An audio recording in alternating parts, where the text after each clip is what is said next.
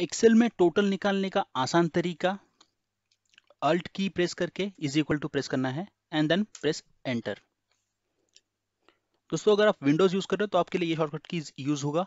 अगर आप Mac use कर रहे हो तो आपको command shift T key press करना है। Thank you for watching this video please subscribe my channel